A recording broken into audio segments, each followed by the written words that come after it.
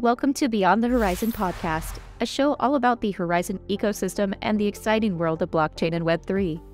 Join us as we explore the latest happenings in this rapidly evolving space and discover new horizons together. Now let's go beyond the horizon. Hey everyone, welcome back to Beyond the Horizen. Today we're welcoming back Temujin, VP of Marketing over at Wanchain.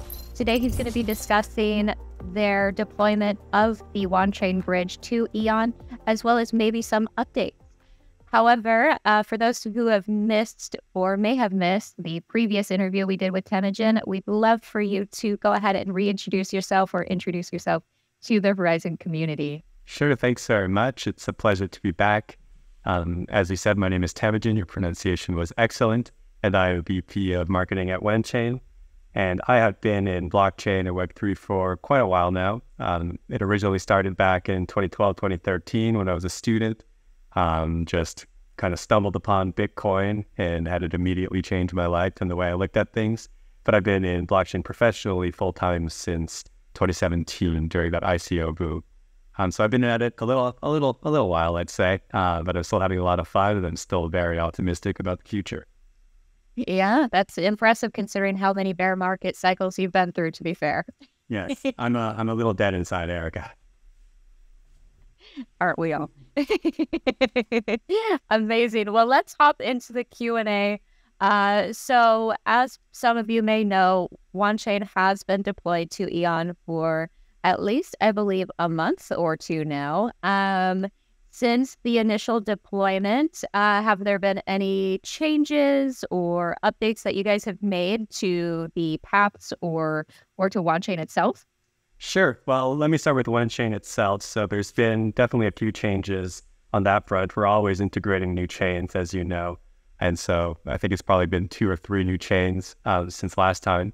Um, we've been putting a lot of our focus and energy on building out the Cardano community, uh, but obviously we're here not to speak about Cardano, but to speak about Eon. So uh, on that front, when we originally launched on Eon a couple months ago, um, we launched with just a handful of assets. So we have deployed a few additional assets and chains, um, you know, since that time. Probably the biggest ones are we've connected Eon directly to Ethereum, um, which now brings the number of chains that are directly connected to Ethereum up to five. So you have Eon connected to Wanchain Layer 1, Ethereum, Bitcoin, Litecoin, and XRP Ledger, as well as a suite of assets. You know, the, the big blue chips that you would expect to see BTC, uh, USDT, USDC, XRP, as well as uh, a few smaller tokens as well. Amazing. Love hearing that. Um, and we have been just really enjoying our partnership so far. You guys have been amazing to work with. And I know that the community has enjoyed uh, testing out these new functionalities and paths for them to take in order to go to and from Eon, uh, which of course is now officially launched as of today. Uh, at the time of this recording, by the time this is out, he will be like, "That's old news, Erica." Um, but uh, maybe you guys could perhaps go into some of the differentiators of Wanchain versus other bridges. Sure. Well, I think first off, and perhaps you know, some people who listen to a lot of my interviews will be bored by this, but uh, you know, Wanchain is a little different from other bridging projects in a couple ways. One, uh, we're extremely R and D focused, so that was kind of our origins, um, taking a really kind of academic approach to developing the field of interoperability, even beyond the Wanchain project itself. So that's kind of really always been in service of our mission, try to connect all these different blockchains together, and ultimately have you know all these blockchains kind of operate as one meta network totally seamlessly interoperable. That's kind of the vision. Obviously, the industry is not there yet, but this is something that we're working towards, and it's something that is getting you know closer and closer all the time. Um, secondly, some of you might not know this, but Wanchain is one of the first, if not the first, blockchain interoperability project. So that means we have really an unmatched track record. We've been officially around since 2017. The roots a little bit back before that, and you know we launched our first mainnet bridge in 2018. So we've had mainnet bridges, you know, for over five years now. Obviously, the number of chains and routes have expanded, but in all that time, you know, we've not suffered any hacks or any type of security incident. So we really have this kind of really proven system, this proven product that has yet to kind of be exploited. So this is also something, you know, that you know, hopefully other bridges will kind of reach the same milestone in time. We're not hoping for anyone to suffer incidents because it's only the users who pay the cost. But you know, this is something that sets Wanchain apart today.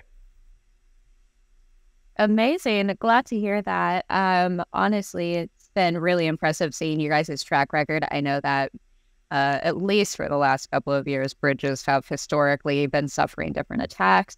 Um, and and your track record is impeccable and highly impressive. So we're really glad to be uh, working with you guys to bridge between Eon and different ecosystems. Uh, we look forward to hopefully maintaining that perfect track record on Eon. yes. I, I share the sentiment. awesome. Um, so it sounds like you guys have made a lot of changes recently. What does the roadmap kind of look like for the next quarter or two for Wanchain? Sure. So, um, one thing that we kind of specialize in is bridging to non EVM chains. And so, you know, it's not only EVM to EVM when you come with Wanchain. So, definitely, definitely, you'll see a few additional chains added to our infrastructure. Right now, we connect just about 30 networks, again, both EVM and non EVM. So, you know, by the end of the uh, by the end of the year, you should see at least two to four more chains reach mainnet by then. Um, the next one is going to be Base. Um, so just today, well, today as of this recording, again, kind of like you, people are probably going to be like, "Man, this is old news by now." But basically, Circle just launched uh, CCTP for um, the, their kind of in-house cross-chain solution on Base today. So Wanchain once again was the lowest partner for that. So we have you know these type of things going on as well. And then in terms of our kind of tech stack, something that's a little bit different over the past couple months, we've been joining a few hackathons, you know, around the world, really stress testing our upcoming general message passing platform. So, you know, right now the Wanchain bridges deal primarily in fungible and non-fungible tokens, but this new solution, you know, to still benefit from the same proven security that our, you know, all our solutions have, um, but will be a little more flex- flexible to developers who want to create something a little more intricate than just a token bridge. That is really exciting. I look forward to seeing the results of that. Um, I can't believe you guys are able to deploy to, especially non EVM chains, so quickly. That is incredible. Hopefully, maybe we'll see a, an Eon base bridge sooner or later. Uh, but looking forward to seeing ways that we can further expand our partnership. Uh, but it sounds like you guys have a pretty exciting roadmap. Yeah, and you know, maybe I'll just leave a, a final message to your viewers of the EON community. You know, you kind of said tongue in cheek, maybe we'll see uh, EON based bridge in the future, but you know, once EON is connected to our infrastructure, which it already is, it becomes you know orders of magnitude simpler to connect it to all those other networks. So I mentioned right now EON's connected directly to five, but this was just basically based on you know requests and and demand. Um, if any of these users have a specific chain in mind that they want to see EON connected to, or a specific asset that they want to see bridged into EON, it really is as simple as you know reaching out to to myself or um, you know our admins on Telegram, or just kind of get in touch with the team, and you know we're more than happy to kind of make these assets and chains directly available uh, to EON and the EON community you know, per request. Incredible. Um, so I know you mentioned reaching out via Telegram or directly to you. So what we'll do after this video, we'll make sure that everybody has links to these things so that they can reach out to you guys. You never know when we might need that bridge to to Base or to another protocol. Who knows? But um, I want to make sure that our community is able to reach out to you guys and say, "Hey, we we want this," uh, because you guys are just so amazing and easy to work with. So I'm going to funnel as many people to you guys as I can possibly can. You're going to offload that work to the community, Erica. Correct. Yes. We're trying to decentralize the B workload here. I like I like that framing. Thank you. That's my my former marketing background for you. Amazing. So, uh, you did kind of just share something really cool with the Eon, Eon and Horizen community.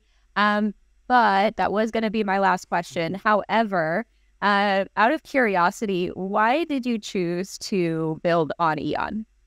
Sure. You know, I think I maybe hinted at it at the start of uh, our recording today. Um, you know, Wanchain, I think it's no surprise to people who know us. We really, truly believe that blockchain interoperability is inevitable, uh, even inescapable if there's going to ever be mainstream blockchain adoption. So, um, you know, we have to be honest with ourselves today. The experience with blockchain, you know, it's not that, it's not that great.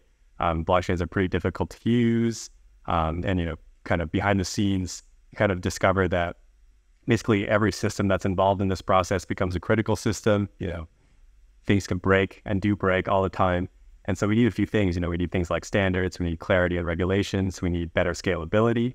And, you know, that's really kind of the goal is simple. Uh, this is kind of why we bridge to Eon, because the goal is to connect everyone. You know, we want to play our part just in our little corner of the blockchain industry in terms of pushing adoption um, to enable basically, like I said, all these different chains to function as kind of one meta network so that we can really have something that the world can use. And, um, you know, so specifically to, to the kind of Horizen community, a the Horizen team is great to work with, very easy to work with. The tech stack is good. You always want to connect good tech and it's got a passionate community. So I hope to hear a lot of these requests coming in, flowing in, so that we can connect Horizen to as many chains as possible. Amazing. Yeah, I hope that they'll start going to you guys directly. Uh, so far, they've been coming to me directly, and I'm like, yeah, let me get that for you. Don't worry about it. Um, but yeah, I, I do hope that our communities start to commingle and really start seeing how amazing Wanchain is and and really digging into what you guys are building. Great. Sounds perfect. And I'd hope to see that as well. Thanks for having me on. Yes, thank you so much, Temujin. I hope you have a great day and thank you so much for joining us. Thank you for joining us on Beyond the Horizen. Stay tuned for more exciting episodes as we continue to discover the limitless potential of the Horizen ecosystem.